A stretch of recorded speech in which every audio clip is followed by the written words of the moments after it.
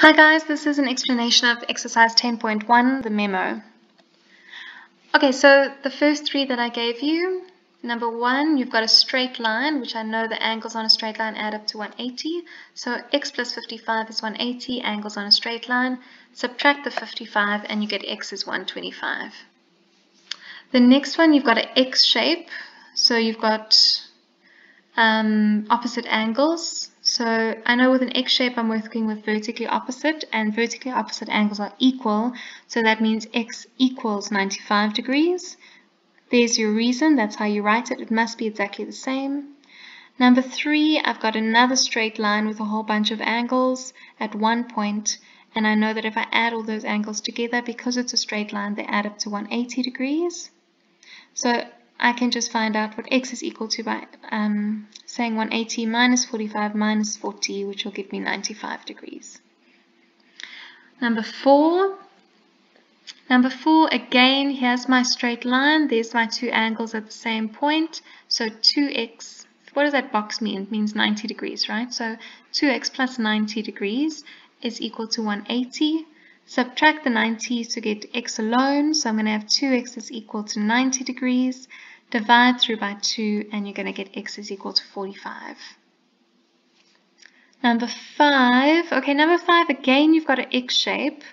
The only thing is that they split the one angle into two different angles. So this part of the angle is equal to 30 and this part of the angle is equal to 50. So I know that the whole angle is equal to 80, right? So I know that x should be equal to 80 because they're vertically opposite and angles that are vertically opposite are equal. So this is how I would write it. I would say x is equal to 30 plus 50. Reason, vert opp angles equal. And then I just solve. x is equal to 80 degrees. Number six, um, number six, you've got an x and a y that you're trying to calculate. You can't use angles around a point because you've got two unknowns. So what I did was I split it up. So I used this straight line here. So I did the bottom first. So x plus 70 adds up to 180 because angles on a straight line. So I found that x is equal to 110.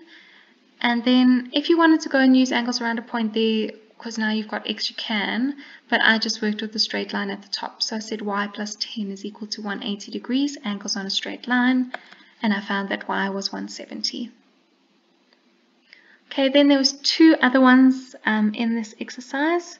This is what they looked like. So number seven, um, it, you also you can't go straight into working with angles around a point because you've got two different unknowns, right? So I started by using this straight line here and I used the bottom. So I said y plus 140 degrees adds up to 180 degrees and that meant that y was equal to 40 degrees once I solved it. So that's equal to 40 and that's equal to 40 there. So if I now use the top of that straight line, I can say x plus y, which is 40, plus 110 adds up to 180 degrees.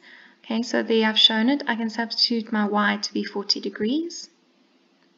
And then I can just get x alone by taking the 40 over and subtracting it, taking the 110 over and subtracting it, and x is equal to 30 degrees.